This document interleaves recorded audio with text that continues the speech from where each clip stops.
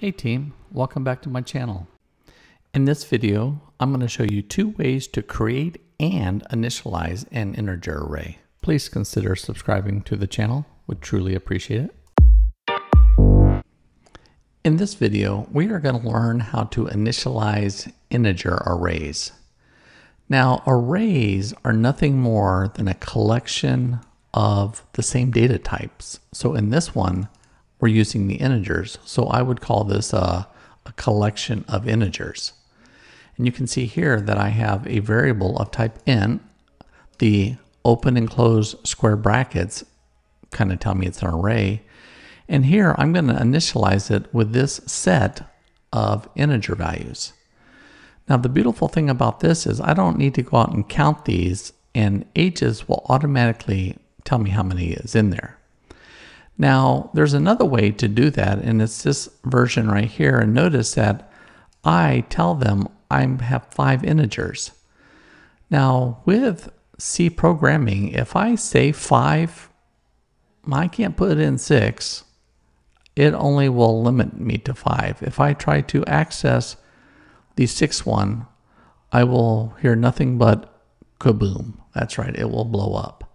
So let's see what happens when I start stepping through this program. So notice I'm going to hit the F10 button and notice that I now have my variables up in memory. Notice here, ages, in position sub zero, I have 22 all the way down to 56. You can see that here, 22 to 56. So this collection of integers has been populated correctly. Now, the only thing I really need to remember is in C programming, arrays index values start at zero. Now, this is a problem for all beginner programmers, is zero. Um, you just got to get your head around it and say, I have an array, okay, sub zero. It's going to take a while. Sooner or later, you'll figure that out. Now, not only can we look at ages with 10 objects, we're going to debug here uh, ages v2. And notice here, before I get ages v2, I've got some uninitialized values in there. Now what this means is I have just declared the variable.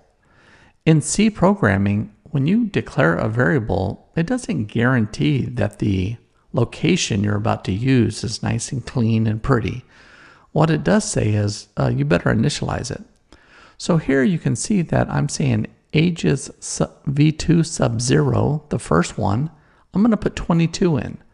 Notice these numbers correspond with the first five up here.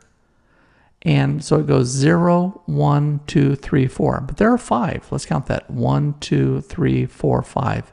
And that's why we have five here. So when I step through this, F10 steps through it, and we can bring up our little debugging window here. And notice as I step through this, the values change. Do you see that? Very nice. So now that I have all of that in memory, then we can do one of the most beautiful operations on there, and it's to do the size of ages. So what size is, it's going to go out there and see how many bytes does ages consume.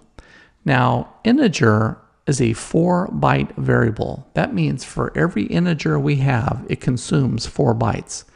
Now, you now know that. How big do you think this will be? I have 10 elements in there.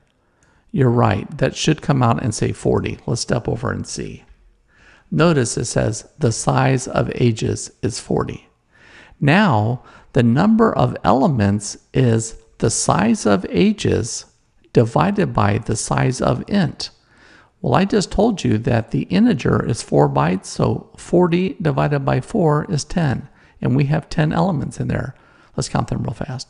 1, 2, 3, 4, 5, 6, 7, 8, 9, 10. Very good. So let's execute the next line.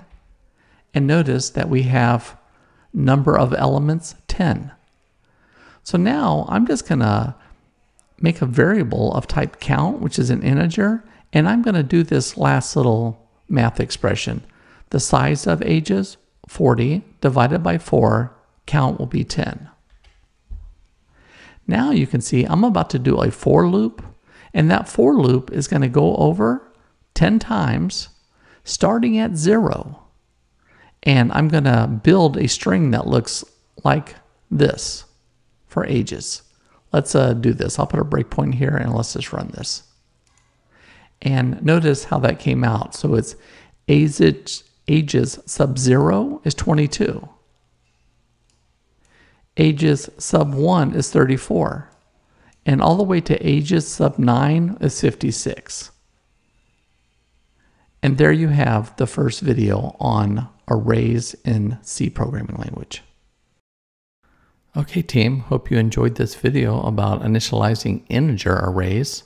Please consider subscribing, leaving a comment, and giving me the thumbs up. I appreciate it.